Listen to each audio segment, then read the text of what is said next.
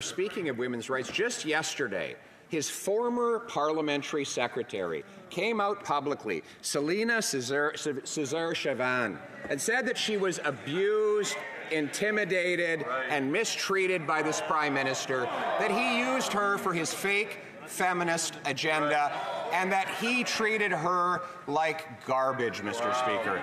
It is terrible the way he exercises hypocrisy. What a goddamn bombshell just dropped about the true character, the true nature of Prime Minister Justin Trudeau. And we are going to be deep diving into just exactly what this woman said. And she is one voice among many who have said the same thing that ever so conveniently, maybe it's because he, oh, I don't know, owns the media, has eliminated Canadians from seeing certain content on the internet, and is continuing to get rid of free speech, that we haven't actually seen the full depth of exactly what a lot of these people have said after they were finally free from working under him. I'm Jasmin Laine. Like the video, comment below, subscribe to the channel, whatever it is that you want to do if you appreciate this content. It means an awful lot to me. And I will add that this absolutely damning interview that took place with Dr. Jordan B. Peterson is just so perfect, given, you know, how the liberals have been all like, oh, the conservatives are going to take away abortion rights.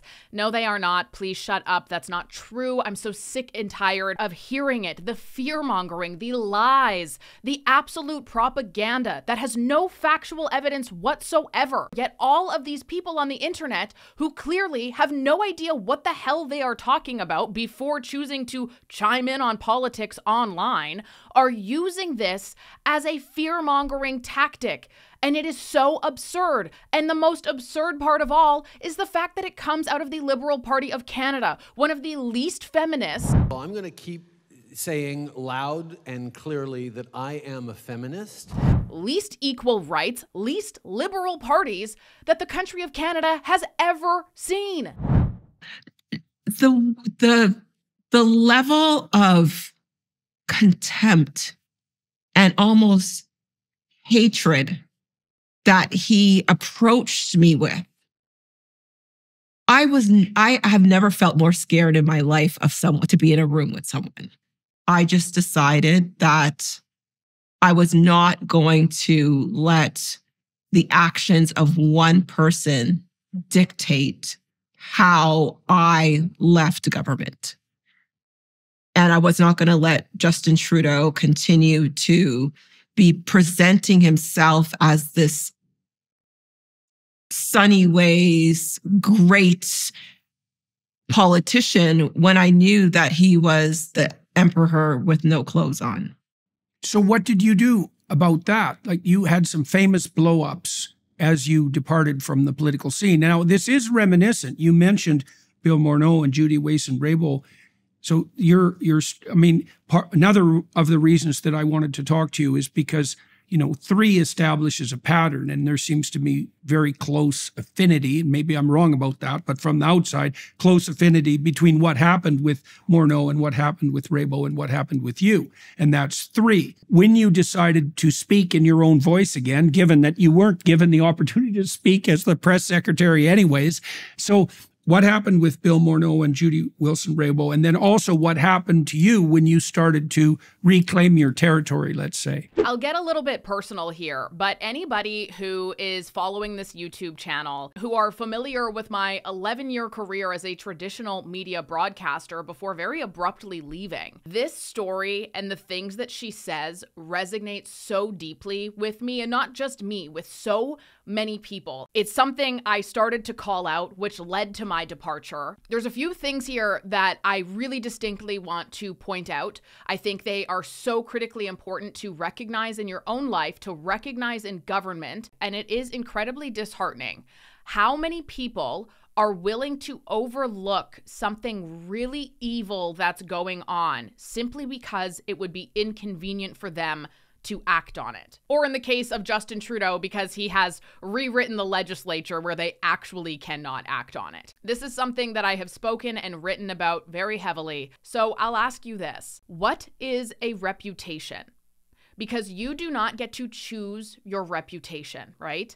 Your reputation is given to you by how you live your life, how you treat people around you, and how you make others feel. Your reputation is a direct reflection of who you are as a person. And one of the most difficult things here is the fact that Justin Trudeau, as a person, is this deeply narcissistic who functions on malevolence, ill intent, and control but who also has the power of shifting the public narrative around him. People who are very bad actors can often quite easily rise to the top because they have that thing in their brain where they can really hone in on control and they do it in a way that you don't realize it, where they really chip at your soul and your dignity and who you are as a person.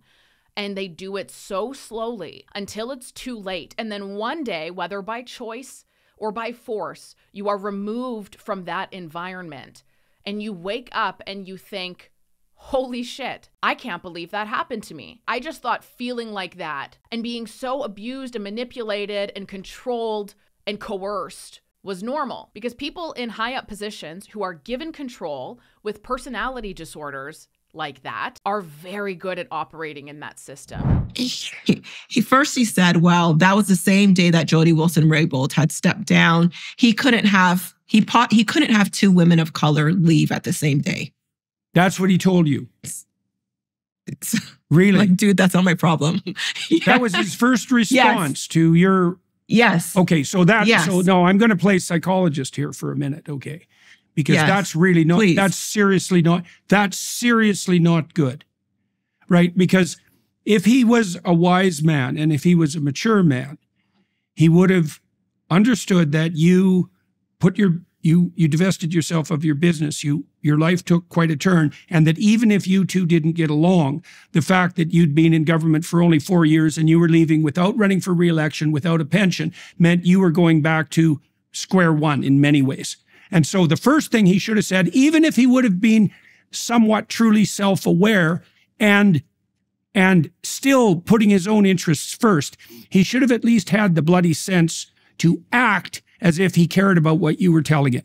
The fact that his first response was, I'm dead serious about that. Like, even if he was faking it, you know, if even if he was a wise faker, the first thing he should have done was said, like something like, well, you know, I know we've had our differences, I really appreciate your service. You put an awful lot of on the line for this. It's really unfortunate it didn't work out. Um, is there anything I can do for you to make your departure more straightforward? I wish we could have worked together more sincerely, right? Definitely, definitely. And then if he was a genuine human being, so to speak, that would have actually bothered him. But the fact that he came out and said, I can't afford to have two women of color leave me the first, the same day, like all that means is that every single thing that you regarded was as a betrayal was in fact a betrayal. The the the level of contempt and almost hatred that he approached me with I was I have never felt more scared in my life of someone to be in a room with someone. And I knew have that that happened. wounded narcissism. Oh no, I have not. Rings a bell. No. Mm, well, beware of it. Seriously.